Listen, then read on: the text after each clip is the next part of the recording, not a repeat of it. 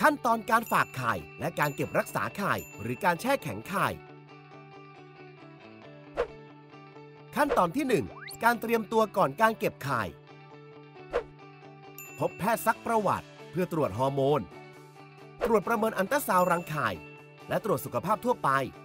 ในการเตรียมความพร้อมก่อนการกระตุ้นไข่ แพทย์จะแนะนำขั้นตอนในการฝากไข่ แช่แข็งไข่โดยละเอียด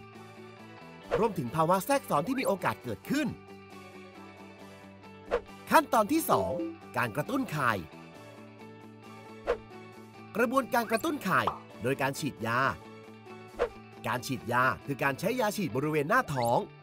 โดยเริ่มกระตุ้นในวันที่ 2 หรือ 3 ของรอบเดือน ฉีดด้วยตนเอง ไม่ยาก เจ็บน้อย ใช้ระยะเวลาฉีดกระตุ้นไข่ประมาณ 8-10 วัน ขั้นตอนที่ 3 การตรวจติดตามผลการกระตุ้นไข่ การตรวจติดตามปริมาณจำนวนและขนาดของไข่ร่วมกับการเจาะฮอร์โมน โดยจะมีการนัดพบแพทย์เป็นระยะระยะ ขั้นตอนที่ 4 การเก็บไข่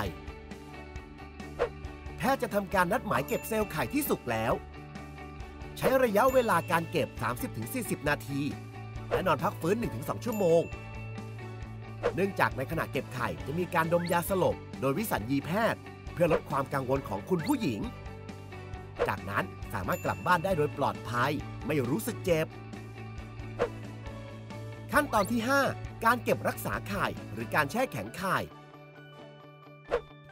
การเก็บรักษาเซลล์ไข่จะเก็บไว้ในห้องปฏิบัติการแช่แข็งที่มีอุณหภูมิที่ติดลบ 196 องศา จะได้รับการดูแลอย่างทนุถนอม เพื่อรอเวลาที่คุณพร้อม สามารถมารับเซลล์ไข่ที่ฝากไว้ เพื่อดำเนินการปฏิสนธิ